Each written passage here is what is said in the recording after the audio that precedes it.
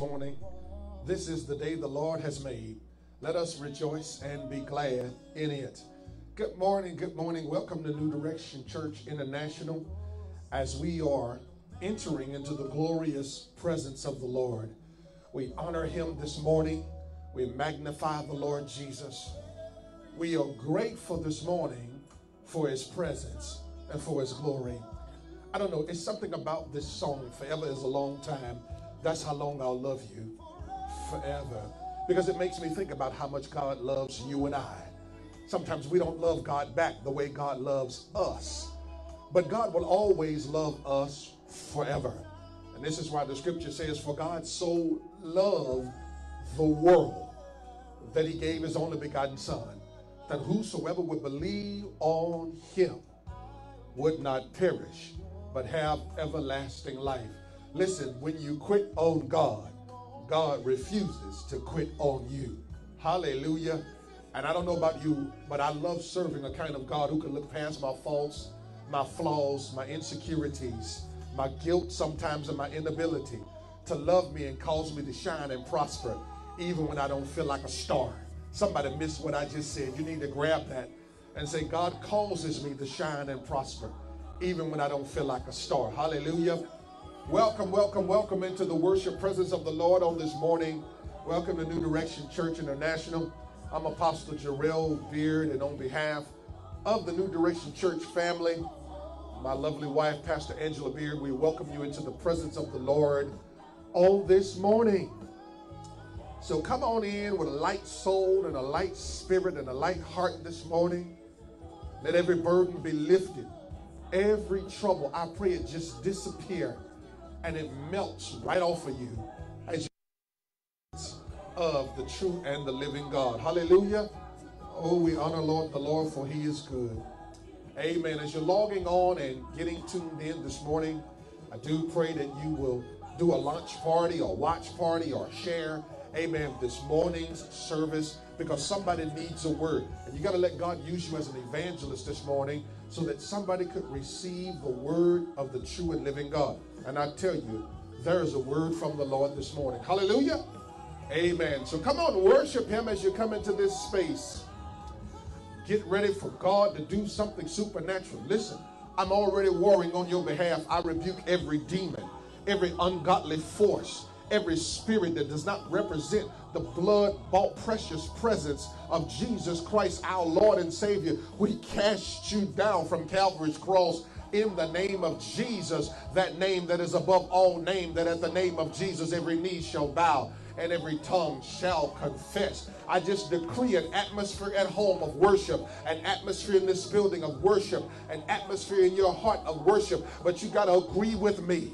In order for you to have worship, you got to say, This house is a place of worship. This car is a place of worship. This space is a place of worship because I'm coming to God this morning for something. I want to hear from my Abba Father, not man, but God, the God in the man. Come on, somebody. If you pray, He'll speak, He'll preach, He'll bless you this morning with a relevant word that'll touch your life, that'll touch your child's life. Oh, my God. Woo, this kind of word right here will tear down the walls that are against you. Hallelujah. Glory to God. Thank you, Jesus, for your presence. I feel the power of God, the presence. I'm a worshiper, if you didn't know. I love getting in his presence. Letting God just minister to my heart. Let God just talk to me about his grace, his mercy, his blessings, his ideas of who I am. And come on, somebody. His ideas of the church and his love for his people. Come on, somebody. Hallelujah. Yes. Glory to God. So come on, worship him in this moment. Ooh, lift your hands. Come on, lift your hands at home. Come on. Bless the Lord. Oh, Come on and lift up your hands. Come on, give him worship. Uh, this is how this is how you come out of psychological trauma. This is how you come out of deep hurt and pain. This is how you stir up the joy on the inside. Come on, somebody. Woo! Oh my God. The word of the Lord said, Set your mind not on things below in the earth, but on the things above that's in heaven. So what, whatsoever things are lovely, whatsoever things are pure, whatsoever things are of a good report. Oh my God, the word says, think on these things. I came to challenge you this morning to think about the good reports, not the bad ones, to think about the good things and not the bad ones, to think about the blessings and not the curses, to think about the joy and not the pain. Come on, somebody, I need you to, woo, hallelujah. Come on, hallelujah. Hallelujah. Oh my God, I'll praise him all by myself. He's been too good. He's been too good. He's been too good. He's been too good. He's been too good. He's, he's been too good. He's been too good. He, he's been too good. He's been too good. He, He's been too good. He's been too good. Somebody already know. Oh, he's been too good. He's been too good. He's been too good. He's answered too many prayers. He's walked with me through too many storms for me not to know that he's good. Oh my God. And then he guaranteed me in Romans 8 and 28 that all things worketh together for the Shout good, good, good, good. The good, the good, the good, the good, the good, the good of them. The good, he's working good out of bad. He's working good out of ugly. He's working good out of difficult. He's working good. Uh, that's all he is, is good. So he's a God of the turnaround. Turning around for your good. Shabakuremde stile kundala boto salaro lebetuchukundela baside telebukushandere turning turning turning He's a turning God. He's a turning God. Turning it. He'll turn. God, I know it's hard, but he'll turn it. He turns it. He turns it, he turns it, he turns it, he turns it, he turns it. Turns it, he turns it, he turns it, he turns it. He turns the cancer, he turns it, he turns it, he turns it, he turns it, he turns it, he turns it, he turns. He turns the COVID, he turns it, he turns it, he turns it, he turns it. May hit you, but he'll turn it, he turns it, he turns it, he, turns it, he turns it, he turns it, he turns.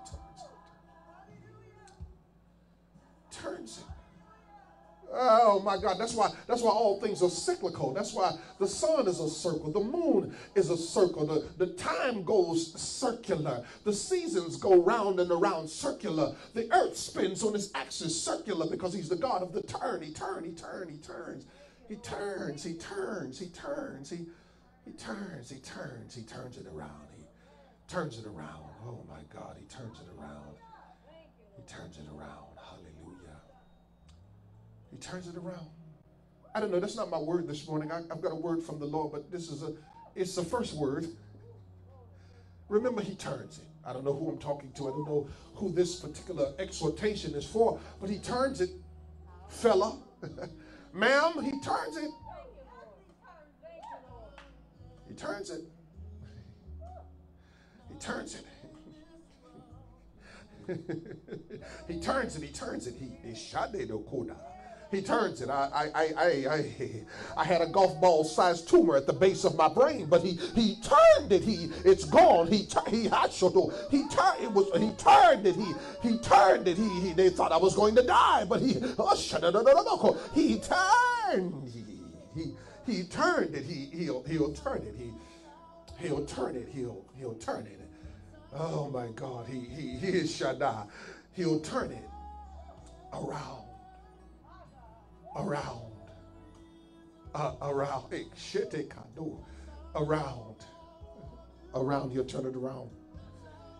Oh, God, I thank you this morning for your precious presence.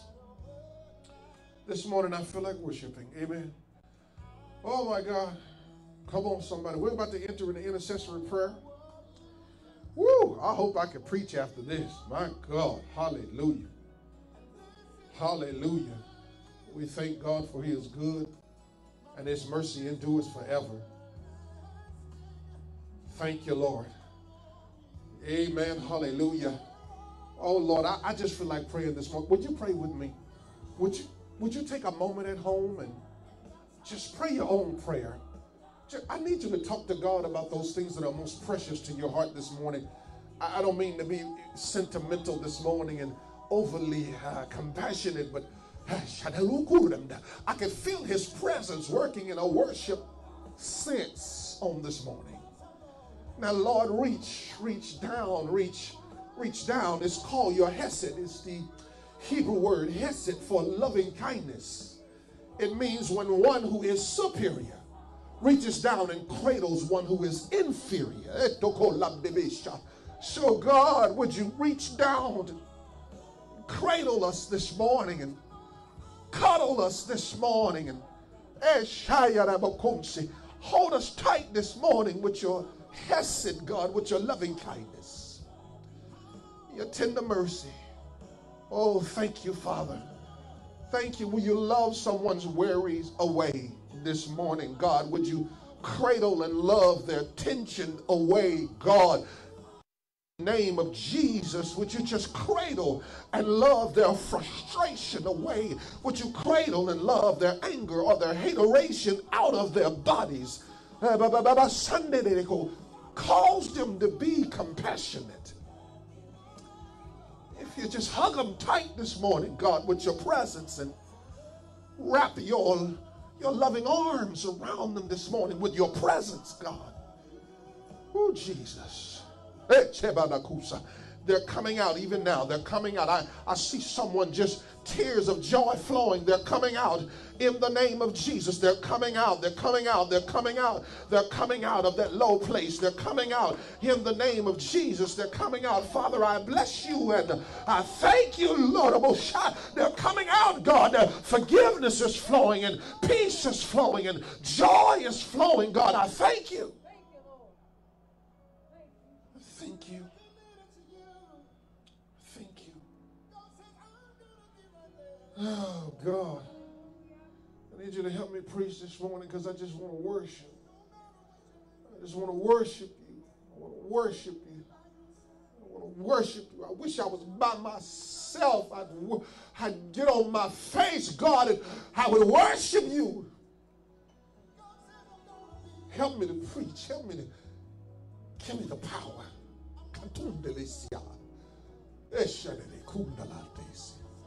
For your glory, God. For your honor. and for your praise. I thank you, Lord. In Jesus' name, let the church of God say amen and glorify the Father. Glorify him in this place. Glorify him, glorify him, glorify him, and magnify him. Glorify God and magnify him in this place. Oh my God. Oh God, God wants me to send you a loving hug this morning and a loving, a loving embrace on his behalf this morning. God loves you and he cares for you. Woo, hallelujah. I feel my soul saying, as the deer longs for water, my soul longs and thirsts for you, O oh God, for your presence, for your glory, for your honor. Ooh, y'all better pray for me this morning because this, this, I'm a worshiper. This is my personal space, and I love being in my personal space eh, hey, with God and He and I alone, and He can just work on me and fix me and tell me some stuff I need to straighten up and tell me some stuff I'm doing well and tell me how He's pleased with me. Show me I'm His royal child. Hallelujah. Glory to the Lamb of God. Thank you, Jesus. Woo! Glory to God. Hallelujah. This morning, if I if I can muster up the energy, because I'm in a worship space, to preach the gospel this morning, I would like to invite your attention to Luke chapter 11 and then Luke chapter 18. Luke chapter 11, we'll look at verse 5 through 13. And in Luke chapter 18, we will only look at verse 1. Don't get ahead of me. Luke chapter 11 is where we're going first. Luke chapter 11. Luke chapter 11. Father, may the words of my mouth and meditation of my heart be acceptable.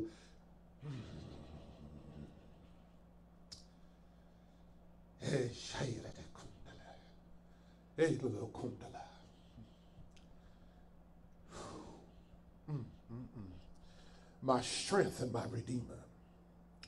In Jesus' name, amen. Luke chapter 11. My prayer, my subject this morning is prayer, the breakthrough contract. Prayer, the breakthrough contract. And I've titled it this way because by God's agreement with me to be my God and that I would be his child, by God's agreement with me that I call on him and he would answer, he has divinely made a contract with me that if I call on him, he shall provide for me. It's my breakthrough contract. It's how I come out. It's how I come through. It's how I make it. It's how I survive. It's how I thrive. Prayer is my breakthrough contract. That if I work my prayer life, my prayer life will work for my breakthrough. Can I talk to somebody? If I work my prayer life, my prayer life will work. I need you to type that in the subject line. I need you to type that uh, online. If I work my prayer life, my prayer life will work. I think I got a church already in here that if I work my prayer life, my prayer life will work. Prayer, the breakthrough contract. Hey, Shabbat, in Jesus' name. I'm excited. Now, listen, listen. Here in Luke chapter 11 and verse 5 is where I want to pick up. And he, capitalized, meaning Jesus, said to them, his disciples, Which of you shall have a friend and go to him at midnight and say to him, Friend, lend me three loaves? For a friend of mine has come to me on his journey, and I have nothing to set before him. Don't ever go to God with nothing to set before him. Okay, that's not my preaching, but I Ooh, God, I just want to bless somebody. Set your heart before him. Set your motives before him. Set your soul. Don't ever go to God and not set a gift before him. Mm, I feel like preaching.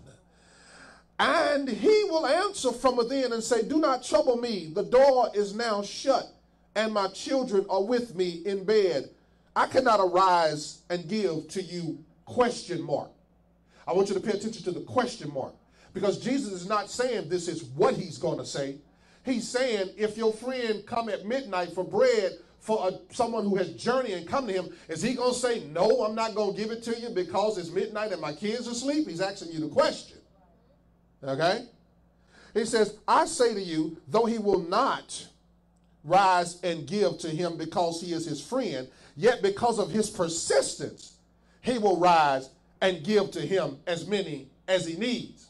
He said, I'm not just going, he's not going to give it to you at midnight because you his friend. He gonna give it to you at midnight because you had the audacity to show up and knock on the door on for some bread at midnight, and he needs you to leave so he can go back to bed. So he gonna go ahead and give you the bread. A wise man would go ahead and give it to you.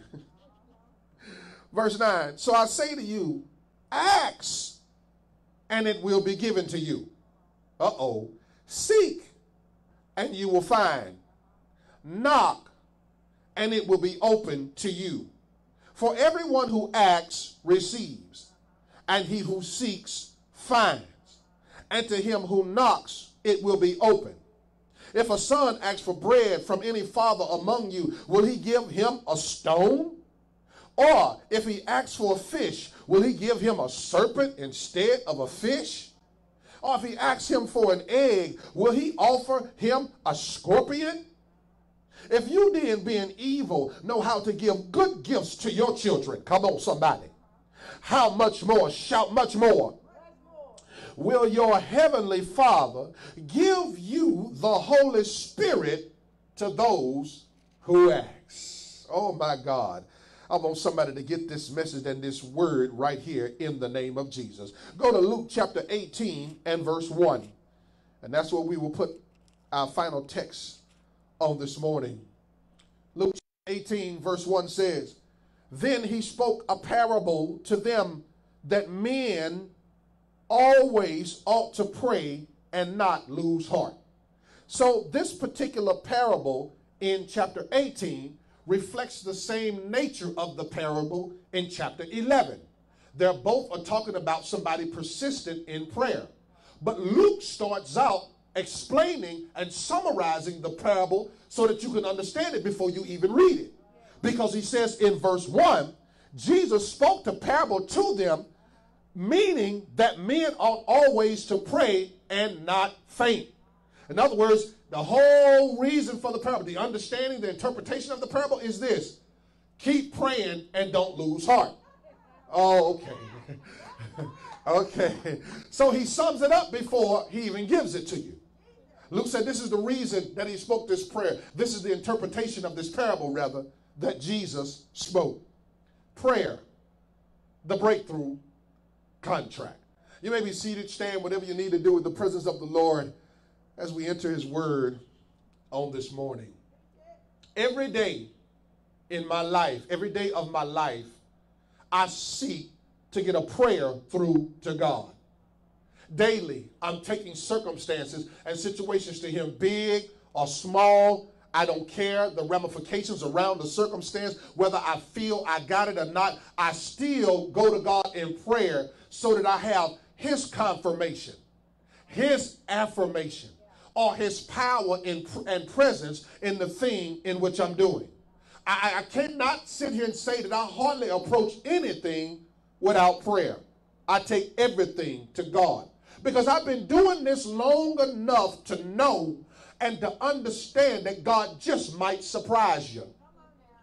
If you pray to him about it, God, God, God has a way of shocking you or surprising you with his goodness and surprising you with his breakthrough and surprising you with his mercy. So it is good, it is beneficial and wise to take things to God. Prayer, my brothers and sisters, is our covenant component of my breakthrough contract with God. Prayer is how I talk to him. Prayer is how I lean on him. Prayer is how I hear from him. Prayer is how I come to know his will for my life. Prayer is earth thing, as we say in the urban culture. Prayer is earth thing. Say prayer is earth thing because I know that I am praying to my Abba Father, or Abba, a term Jesus used, a term of endearment, means my good daddy, my daddy who loves me, my daddy who doesn't judge me can come crying on his shoulder and say, Abba, help me, and he will have mercy and tenderness towards me, and he will bless me and bring me out in the midst of my struggles and storm. Who am I preaching to in this place? My Abba is the one that I cry out to and he knows me as a righteous son. He knows me as an heir to the throne of grace. He knows me, ladies and gentlemen, as a kinsman of Abraham. I have the Abrahamic blessing on my life, meaning that he will be with me and I will be his child. And he will bless those who bless me and he will curse those who curse me. I'm under the Abrahamic covenant. And so when he looks at me, he sees the covenant of blessings, the covenant of sonship and the covenant of inheritance on my life. Somebody shout, I'm a kinsman of Abraham. God sees me as a royal priesthood. He sees me after his child, Jesus Christ. So when I cry to my Abba, he doesn't see the sinner that's messed up. He doesn't see the disobedient person that won't do his will. He sees a son or a daughter that's coming to his father saying, Daddy, I need you. And Daddy, I need you right now. Do I have somebody here who knows he's your Abba Father? I'm preaching already up in this place this morning. And here is Jesus after he has gone and prayed, and his disciples then see Jesus pray, and they come to him wanting to know how to pray in the first few uh, verses of chapter 11, verse 1 through 4. And Jesus, in response, makes a breakthrough covenant with the disciples. And the contract is if you ask, you shall receive. If you seek, you shall find. If you knock, the door shall be open unto you. I don't know about you, but when I hear the vernacular of the conversation, the dialogue to me sounds like a contract. If you do A, I'll do B. Can I talk to somebody? If you do B, I'll do C. Come on, somebody. If you do C, I'll do D.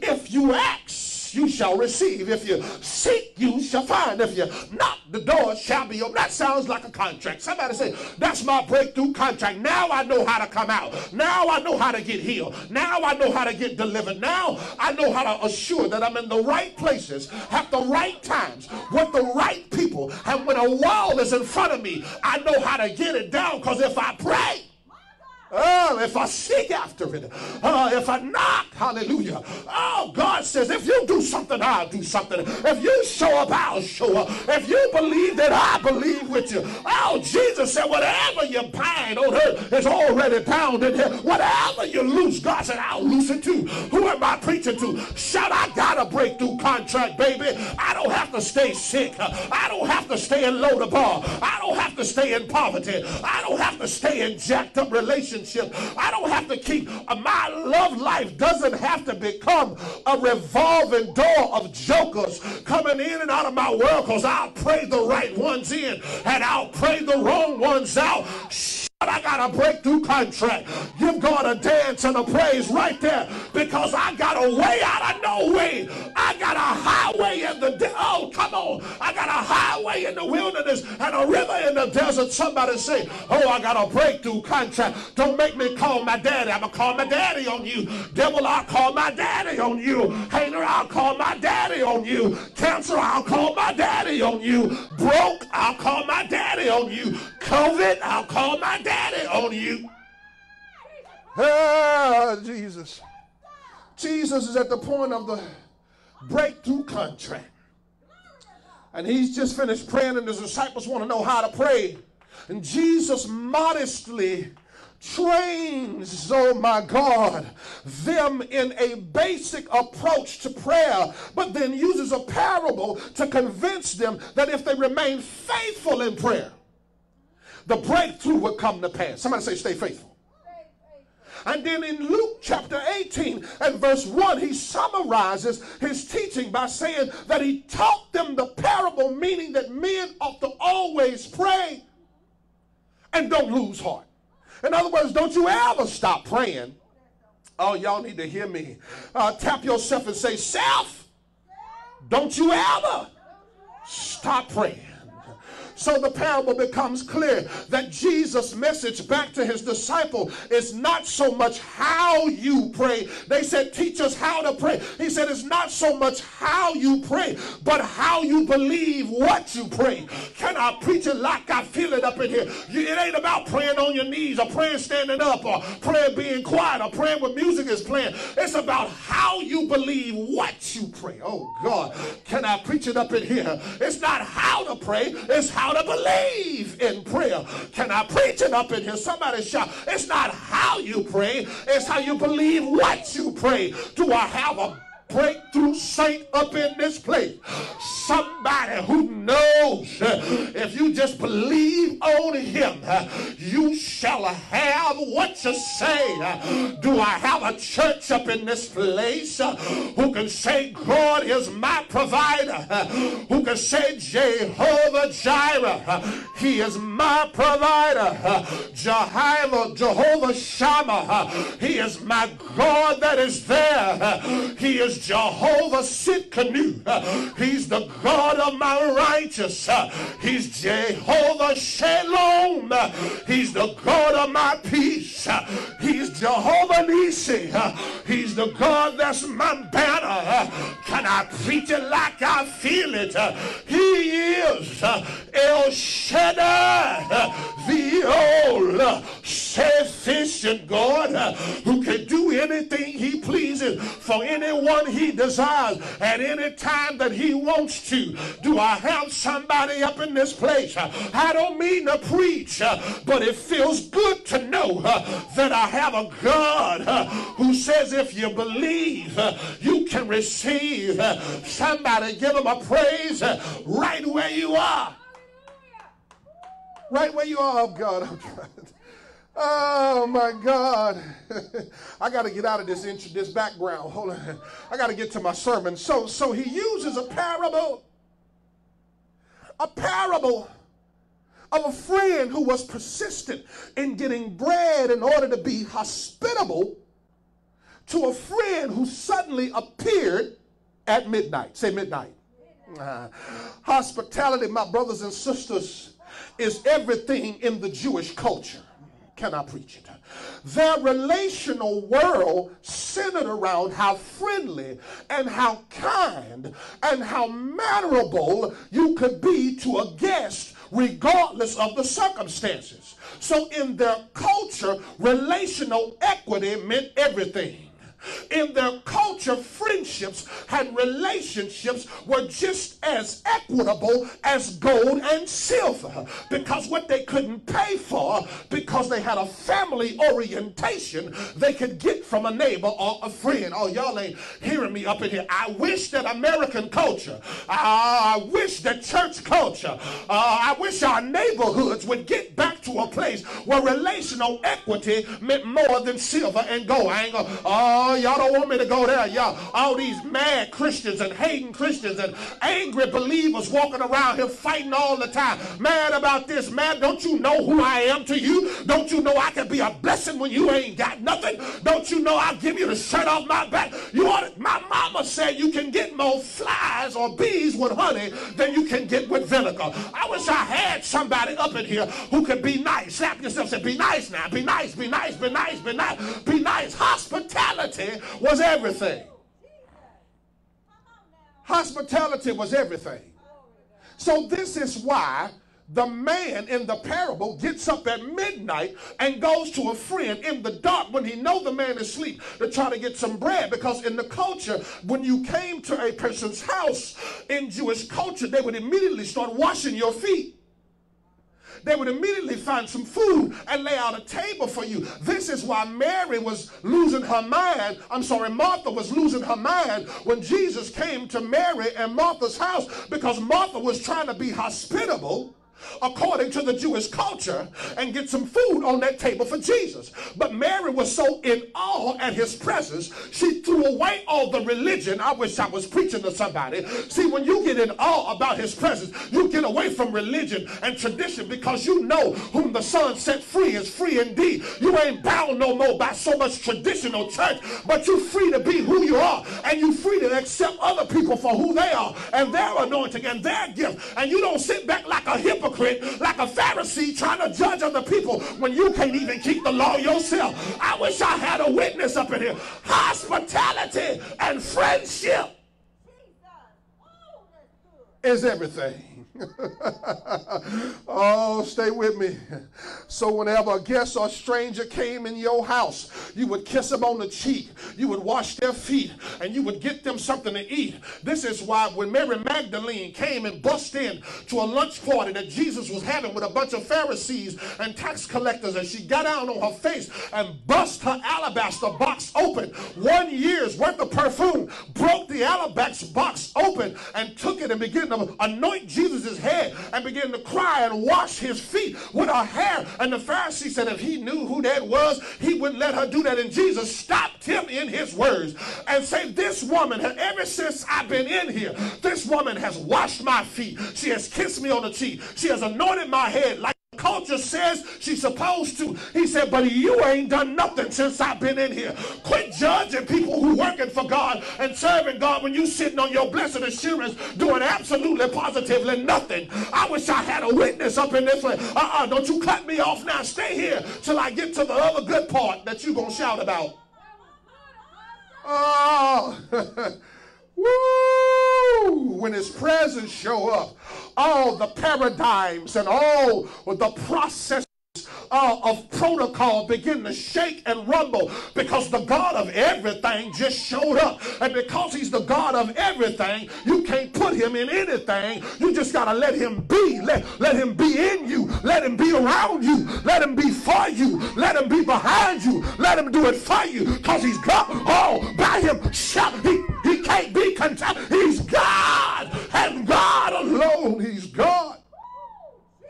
And he's God all by himself. I got to get to my sermon. So the host went to a friend at midnight, and Jesus said he was persistent. And that's why he got the breakthrough. This Greek use of the word anaideia The Greek word persistence is anaideia, and it means to have no constraints and to be shameless.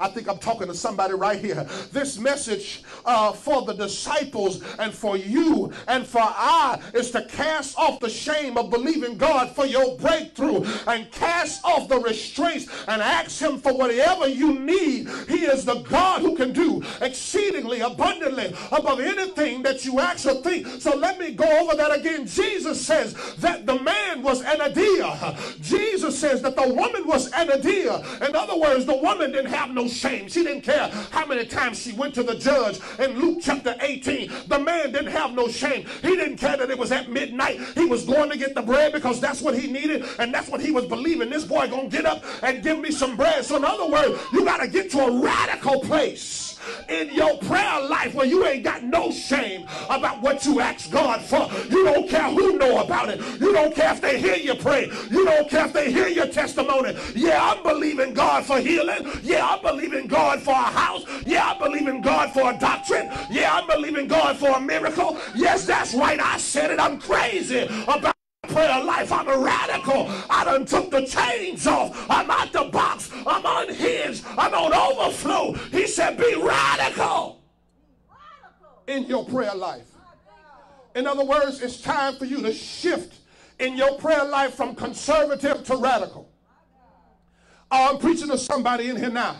It's time for you to shift uh, in what you believe in God for from normal to abnormal. Ah, it's time for you to shift from ordinary to extraordinary. It's time for you to just stop believing God that He gonna wake you up in the morning and see you through the work and protect you to get back home. It's time for you to believe God for a miracle, believe Him for a breakthrough, and believe Him for supernatural things that only God can do. Somebody shout, "I got a breakthrough contract." Oh my God, I got to preach this to somebody up in here. I need to help you get to a whole new place. Shout, I'm going to a whole new place. I got to help you get there. I got to preach you there. Are you ready for me to preach you there? Shout, I got radical prayer. Say it again. I got radical prayer. Say, I pray without shame. I believe without shame. I'm unleashed in my prayer. I'm radical in what I believe God for. I believe Him for miracles. I believe Him for breakthroughs.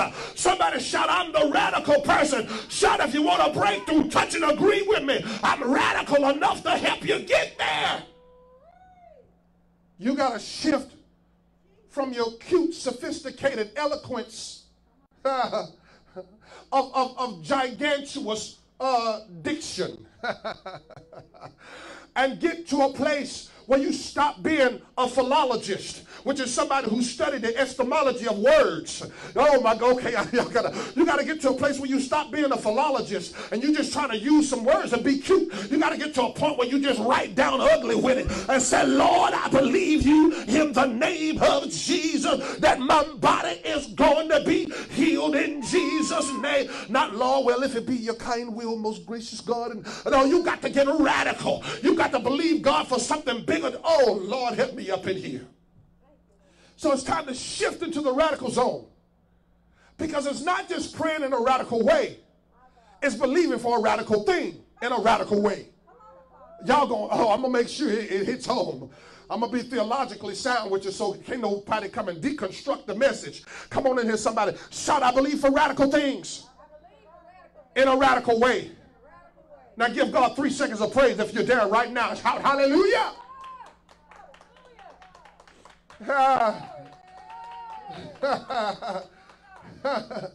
so so my first my first point of construct uh, in, in in in looking at this message uh, on this morning is that access requires axing. Can you get that, my brother, my sister?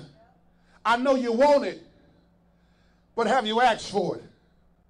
Because access, according to Jesus, requires an ask. Your next breakthrough, my brothers and sisters, is in behind your next prayer.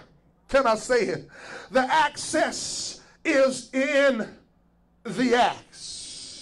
And there are healings and deliverance that are ready to manifest in your life and mine. But the access requires that we must trust God enough to ask Him for the thing that we're desiring in our hearts. Come on, come on. Trust God enough to ask Him for the thing that we're desiring in our hearts. I, I, I want to ask God for it, but I'm scared that He might not do it. I'm scared to go to God about it. I came to tell somebody, trust in the Lord and lean not to your own understanding, but in all your ways acknowledge Him, and He's going to direct your path to the thing that you've been praying about. Can I preach it like I feel it in this place? Because, see, we often fall into the, we often fail to ask because we have a faith problem. We got a faith problem. But I came to lift the yoke of doubt off your mind and the chains of silence off your lips that you could boldly ask God. Here's your shout right here. I know you had a shout moment, but here's your shout right here. Hebrews 4 15 and 16 says, We do not have a high priest uh, who cannot sympathize with our weaknesses, uh, but in all points was tempted as we are, uh, yet without sin. Here it is.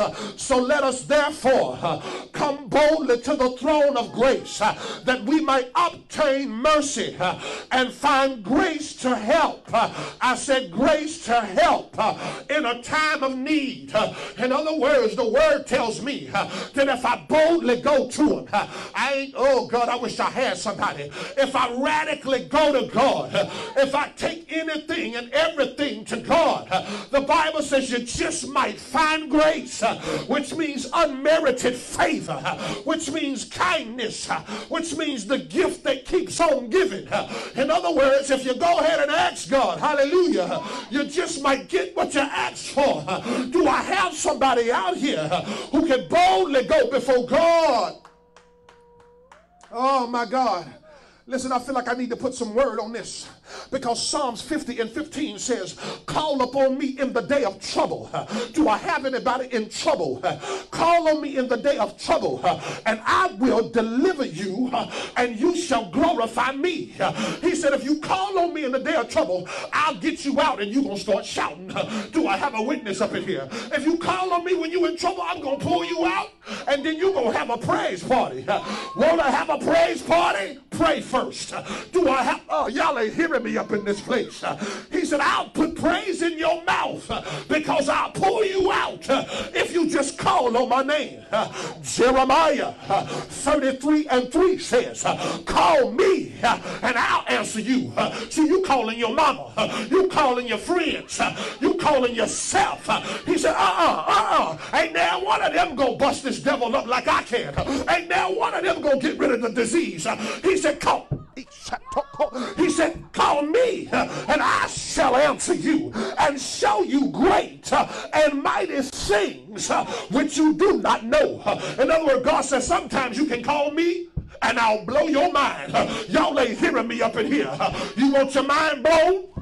Pray first. Y'all gonna make me act a fool up in here. He said, You want to see something you ain't never seen?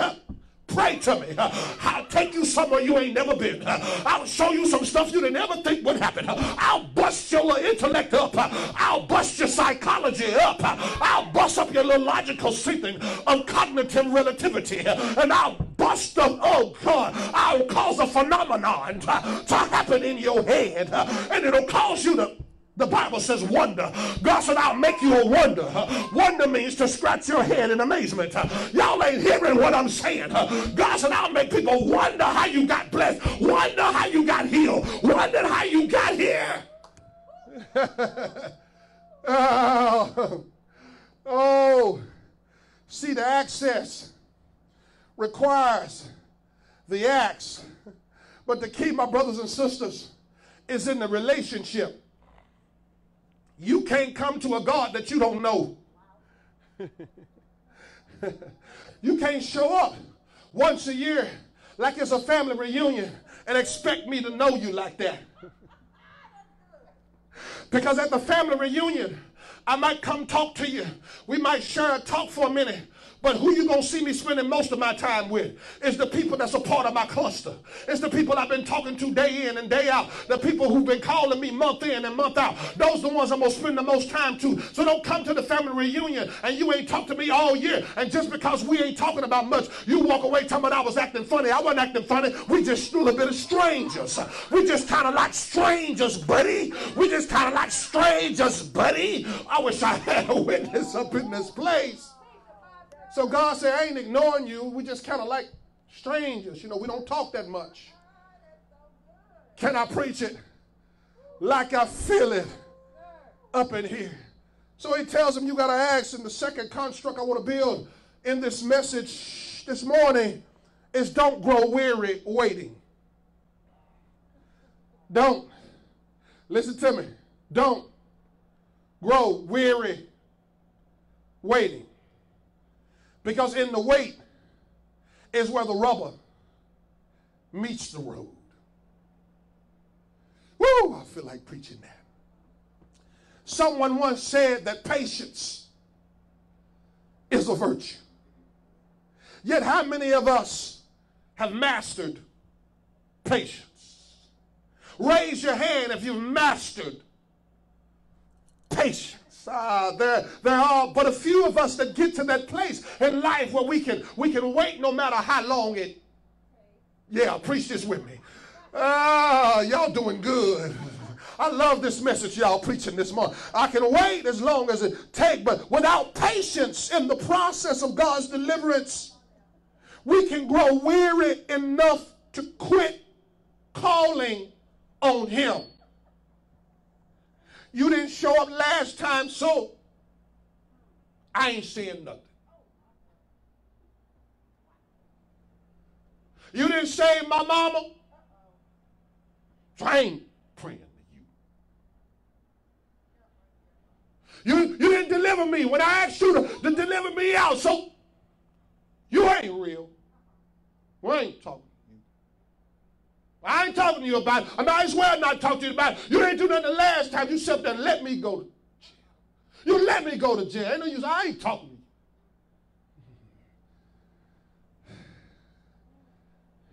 And that's where the enemy has his most fun with our destiny and purpose. It is in the wilderness of waiting that we lose supernatural consciousness that God doesn't work on our timeline, that He is God and we, He is potter and we are the clay. So we point our finger in arrogance, say, no, no, no, no, not praying.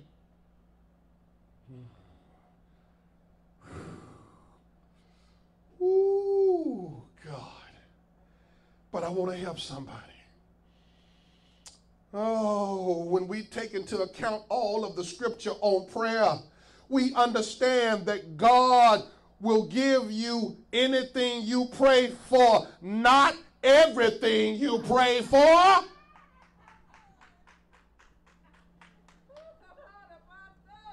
He said, I can give you anything. I didn't say I was going to give you everything. I'm the God that can do anything. But I did not say I was going to do everything in your life. He said, I can do some things, but I never said I was going to do everything. He said, You can ask me for anything. Ask me for anything, anything in the world. But I didn't say I was going to do everything in the anythings that you asked. Come on, come on. Oh my God. See, it suggests that there is nothing that you can't ask, but there are things he reserves the right not to do. Oh, y'all here? We fail to ask because we grow weary waiting for a yes. We grow weary praying because the answer doesn't align with our deadline. Well, the absence of a yes often means the presence of a test.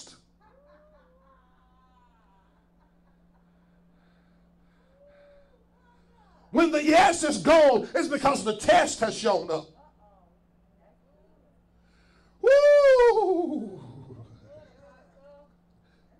So if you can learn to keep your hand in God's hand when the test has shown up, mm, Woo! The Bible says, now God tested Abraham and said, Abraham, Abraham, give me your son, your only son in which you love, and sacrifice him on the mountain of Moriah. the test was present when the yes was absent. Oh, you, you thinking God said no. He didn't say no. He said, wait. Can I preach it like a, he's testing your endurance, uh, testing your belief, uh, testing your faith, uh, testing your patience, uh, grooming you and growing you into the person that he's called you to be. So a yes just means a test or a yes. The absence of a yes is the presence of a test, rather. And so I got to give you your shout because Isaiah 40, 27 and 31, somebody about to shout here. Isaiah 40, 27 through 31 says, Why do you say, O Jacob, and speak, O Israel, that my way is hidden from the Lord? Why you say, and my just claim is passed over by God? In other words, why are you saying God ain't paying me no attention? And why are you saying God has passed me over? Then he says, Have you not known? Have you not heard? The everlasting God, the Lord, the creator of the ends of the earth, neither faints nor is weary. His understanding is unsearchable. He gives power to the weak and to those who have no might might he increaseth strength. Even the youth shall fall and be weary, and the young man shall utterly fail. But those who wait upon the Lord shall renew their strength. They shall mount up with wings like eagles. They shall run and not be weary. They shall walk and not faint.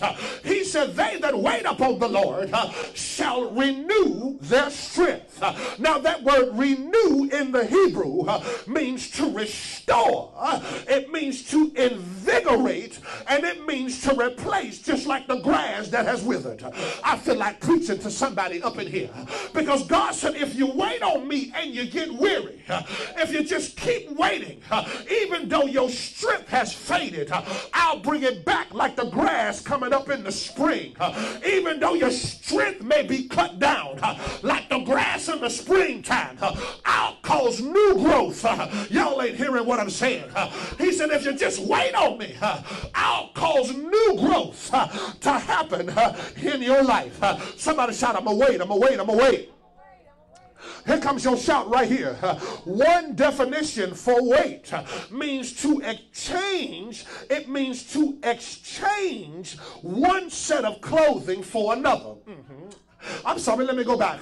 One definition of the word renew means to exchange one set of clothing for another. And it's right there that I hear the scripture saying of the Lord that he will give me the garment of praise for the spirit of heaviness. I wish I was preaching to somebody in here right now uh, who understand that God uh, is about to take that depression off you uh, and cause you to praise.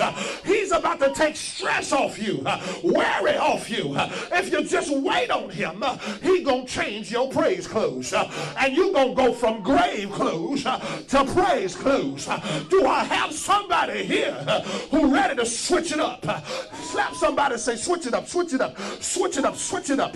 It's time to invigorate somebody, God. It's time to exchange somebody, God. And I feel like praying for you right now. So, Father, in the name of Jesus, I pray right now that you would renew somebody's strength, invigorate somebody, Lord, exchange their stress for their blessing uh, in the name of Jesus. Uh, release the garments of praise uh, for the spirit of heaviness. I need somebody who's been battling stress and depression to begin to praise God right now. Somebody who's been battling worry and fear to begin to praise God right now. Somebody who's been going through the go through, who's been down and out, who's been disgusted and busted. I need you to shift and put on a praise garment and stand up in your living room and give God a shout of praise and give him a dance of glory. Ow, I feel like preaching up in here. This right here is your moment of praise. This is your moment of praise. This is your shift. I've been preaching about it. I've been talking about it. This is your shift right now. It's time for you to praise him. It's time for you to lift him up. It's time for you to pray your way through. You go wait on him. You go wait on him. You go wait on him. You go wait on him. Come on, come on, come on, come on, come on, come on, come on, praise him, come on, come on, praise him where you at. Come on, praise your way out. Praise until you feel better. Praise until you're thinking better. Praise until you're believing better. Come on, praise him, pray. Woo, I'm preaching in here better than you praise. Oh my God. Oh. See, don't grow weary while you're waiting. Don't go weary while you're waiting. If you just praise Him on a regular.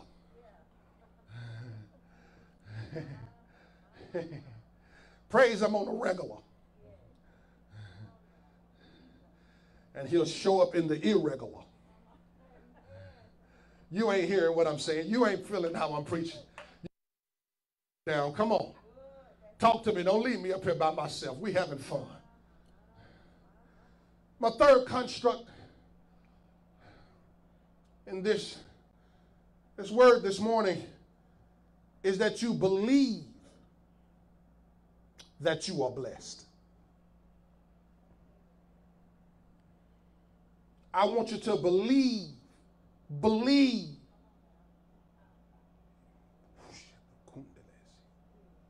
I feel the anointing.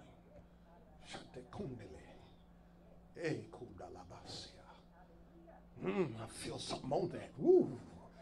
I feel something on that. I feel something on that. I'm so told. I feel the condela say. Y'all got to excuse me for a minute. I feel something on that. I feel the anointing. I feel the anointing on that. I, I feel the power of God on. Oh, you got to Ooh, you, oh my God, I'm gonna have to turn this camera off and go and do what I do in the presence of my God. Good God Almighty! Ow! Ah!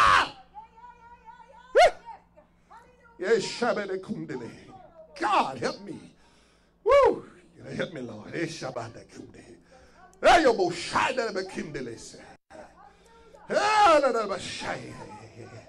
Oh my God. You're down too low not to believe. You're hurting too bad not to believe. I believe that that's what got Joseph out of the well.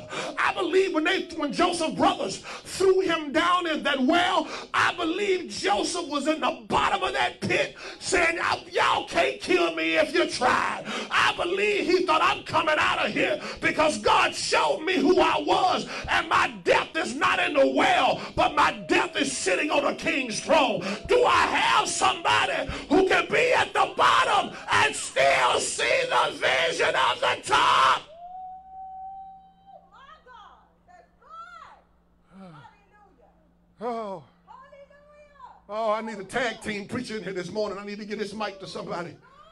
Oh, God. Can you be at the bottom of the pit? Having vision, believing in the top of the vision. Oh, my God. Oh my God. Oh my God. Oh my God. Belief. I got to hurry up. Gets God's buy in. Belief gets God's stamp of approval that confirms to the angels to dispatch your breakthrough out of the heavenlies. You know, you can order a package through some of these mail delivery companies, and they will send you a notification when it's en route. When it's been dispatched from the main facility, it's because a request was made for the product. The client believes they're going to receive it through the payment that they made. I believe it's coming because I paid for it.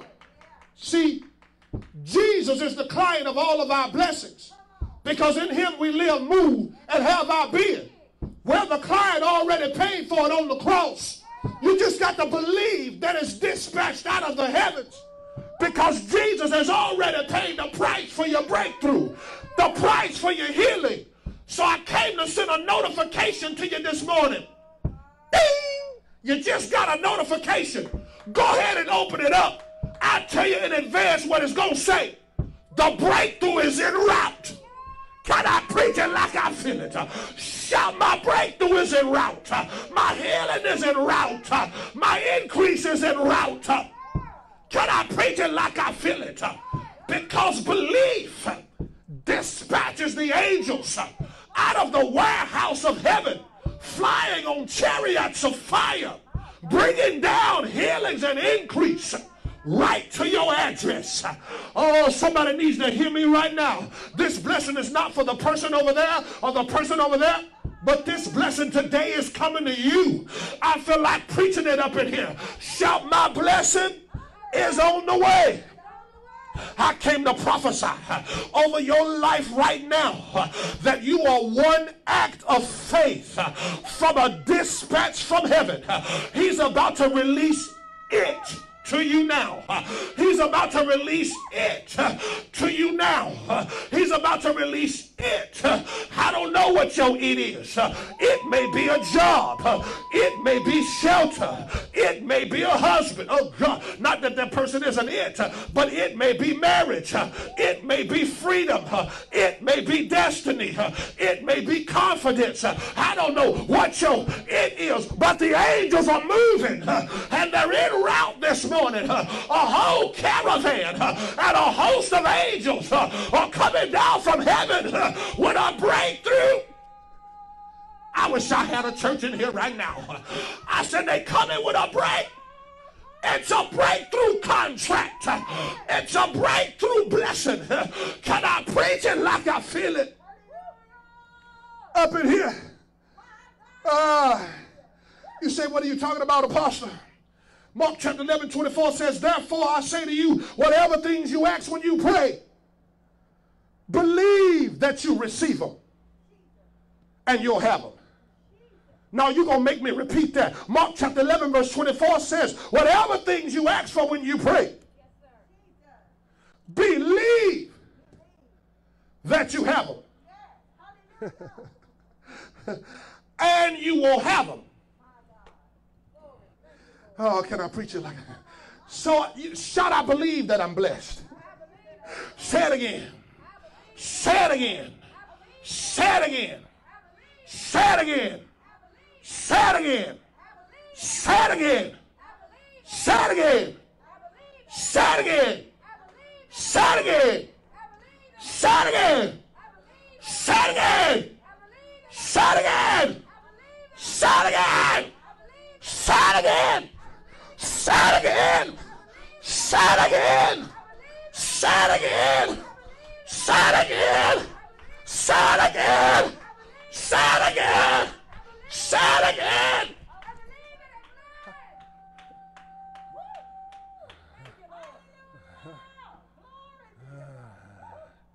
I got a work to do this morning. I got a work to do this morning. See, you believe it now. Can no devil in hell tell you you ain't blessed? Your hater can send you a text message right now. You'll be like, boy, I'm blessed. Get out of here. that person you mad at, they can come in the room right now, talk crazy. You can look at them and say, girl, I'm blessed. You better go in another room. Woo! Because see, you believe it. And now that that seed of belief is in you, uh, that seed is in you. You don't understand. If you could ground right now, I just cultivated. We cultivated that seed in you. Do you not understand that seed is in there now? I wish I had a witness. If you stay good ground, that thing gonna bring forth 30, 60, and 100 fold of increase and blessing in your life. Because I believe it now. I'm blessed. Who are you talking to? What are you talking about? I'm blessed. Oh, you need to hear me. You need to hear me. It's my breakthrough contract. And so, my brothers and sisters, as I close, I like the way Jesus took them through a divine, succinct, chronological, oh God, thank you, order to the breakthrough. He took them, he said, he said, uh, he said, yeah, Acts. No, no, no, no, no, no. He said, Acts. Preach with me. He said, Acts. And it shall be given to you. But but he didn't leave it at the Acts. He he he he caused them to step into another dimension beyond the Acts.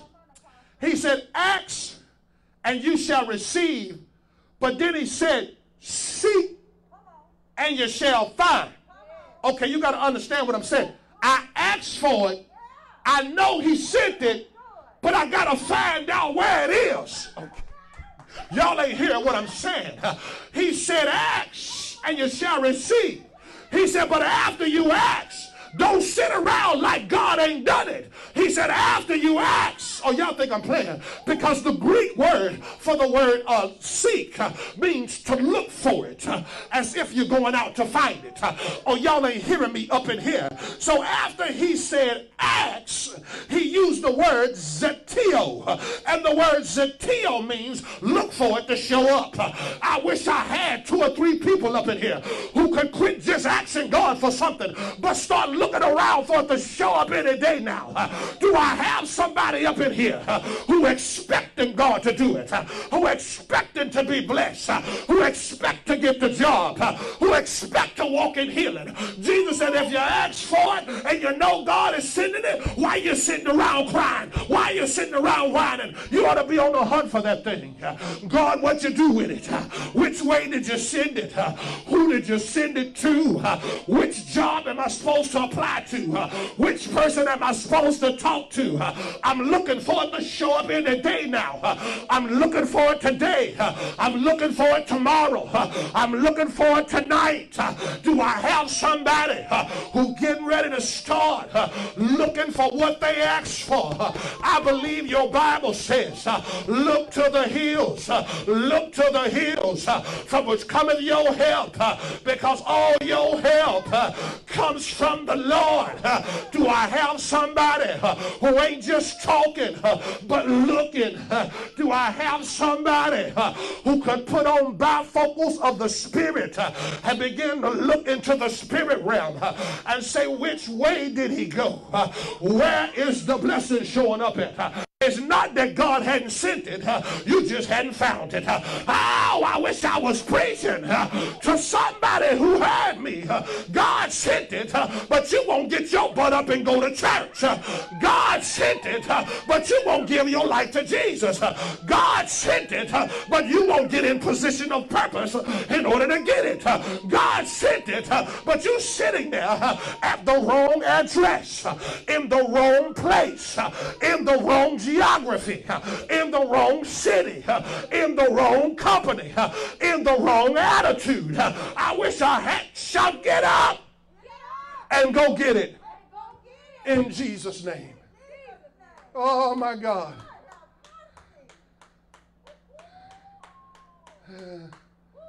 Uh, see, you might think I'm just being homiletically intuitive. It means, homiletic means you may think I'm just preaching out of my preaching personality. And uh, I'm just raising what could be a pseudo wise point. But that's not what I'm doing. I'm in the Bible. Because Jehovah Jireh threw a 75 yard pass from Egypt to Canaan. He had already threw the pass when he released Israel out of Egypt. The ball, the ball of milk and honey was thrown all the way to Canaan. but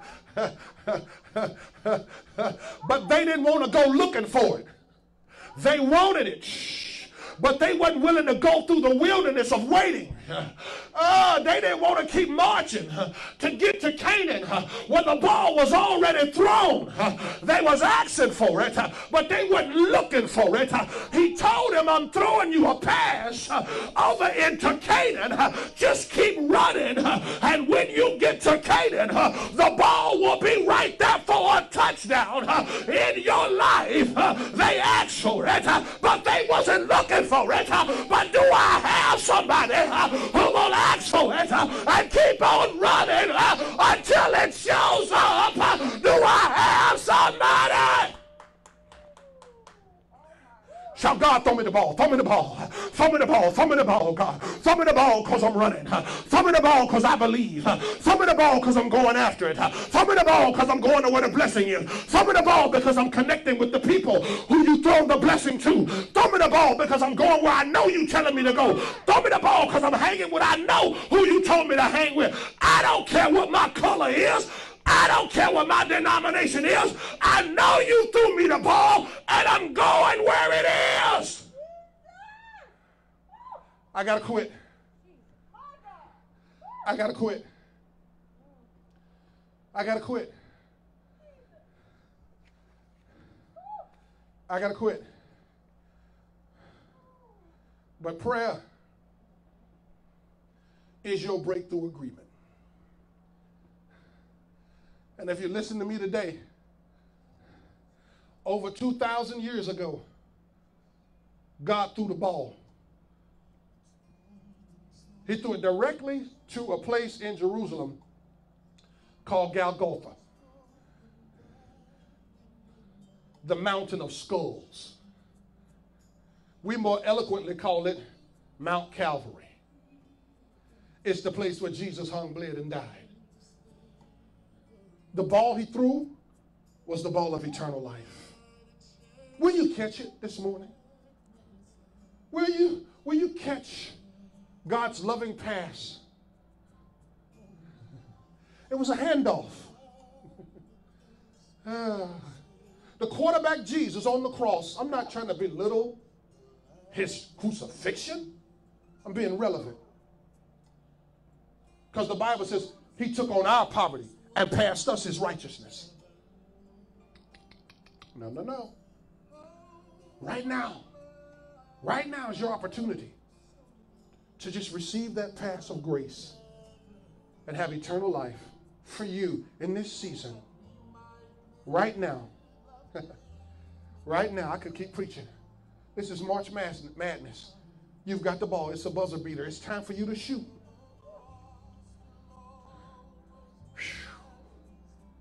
Can you accept Jesus in your heart right now? Can you come to Him just as you are and receive the breakthrough covenant? That whatever you ask for in His name, it shall be given you. That you can receive eternal life. That you can receive destiny, purpose, and salvation that God has in store. Will you do it right now? For those of you who sift and surf the internet and sift and surf but you know you're supposed to be a member of New Direct. You know it with everything in your heart. Will you, will you act today? You know it. Are you ashamed? Or somebody to say this? Just because you're following the anointing, you're following the word of God, you're following the act of the Holy Spirit? Or will you step away and be bold without shame today? I said, that's it, man. That's it. I, I don't care. I got to get all the way into these blessings that's flowing out of this place out of that man and woman of God over there. I've got to get to what God has for me. If that's you right now, just accept Jesus. Just in the in the in the in the page right there. I just got saved. I just got saved. I just got saved. Listen, if you will, if you will believe in your heart right now that Jesus is the Son of God, and just say out of your mouth, God, I love you. I accept Jesus as my Savior. Right there, you're born again. You're born again. You're born again. You're born again. You're made anew, a new creature, a new creation. But now your mind ain't delivered. Your body ain't delivered. That's why you got to be in a Bible teaching church and a Holy Spirit filled church so you can start getting delivered of strongholds and different things in your life so you can come up so that God can trust you with the greatness that He's put in you. Come on, somebody. You who's there who needs to be under this covering. All you're going to get is tidbits and little crumbs here and there as you just listen listen. That's, that's fine until you're ready, but I'm telling you, it's time for the whole loaf. Why am I waiting around to be healed of something, delivered of something, or come into greatness until tomorrow? It reminds me when I think when somebody was asked about the frogs, Pharaoh was asked, Moses asked him, when do you want these frogs gone? Pharaoh said, tomorrow. tomorrow? Man, get these frogs out of here right now. It was frogs all over the palace, all over Egypt. Make sure they're gone this time tomorrow. No, right now. I don't want to be out of purpose, out of the grace, out of the blessing. See, see, you got to understand how it works. When you covenant with a move of God, when you covenant and come on the anointing, immediately the blessings of that anointing flow down on your life. That anointing comes down on your life. Immediately. What are you waiting on? Immediately. You ready for a new dimension? Oh, God, I got to stop. Okay. Who Jesus? Because God, you look through man's eyes. God doesn't deal with that stuff. I'm not up here a man. I'm up here God's man. That means I'm set aside for this stuff. you, I'm coming for you. I'm coming for you. Because God has put a yes in the atmosphere for you. But it requires obedience. You got to get to where the pass is. Hallelujah. Glory to God. It's offering time. Set your harvest in order that it may be dispatched from the heavenlies. As God give you power to get wealth, sow your seeds of faith and obedience so that he gives you direction to the wealth. He already gave you the power. But in Luke 6 and 38, he says, Give and I'll give it back to you. A good measure, pressed down, shaken together, and running over. And although God gives us power to get wealth, it is the seed we sow that activates the direction to the wealth. Oh, y'all gonna hear me in here. So, according to his word, you must give that it be released back to you. Come on, somebody. I don't just want what I earn. Come on, somebody. I, I, I, I want what is inherited unto me from the Father in Jesus Christ. See, if all I get in life is what I earn, I miss the supernatural blessings in my life. It's fine to get what I earn, but that ain't all that I want. I want to sow seeds so that I can have compound interest on what I earn. Come on, somebody. I sow my seed of faith into the kingdom of God so that his supernatural compound interest is on my seed. And my harvest brings me into a place where my family is provided for, where I can sow and seed into the kingdom of God, where I can help those in need, where I can bless the land. Come on, somebody. So get your seed in order to bless your house finances in order. For your harvest is in your seed. I'm Apostle Jerrell Beard. Shoot, I approve this message. God bless you. It's been good being with you this morning. I'm going to see you again. And when I do, I speak God's blessings over your life. Pray for me. I'll pray for you. We love you. God bless you. Bye, y'all.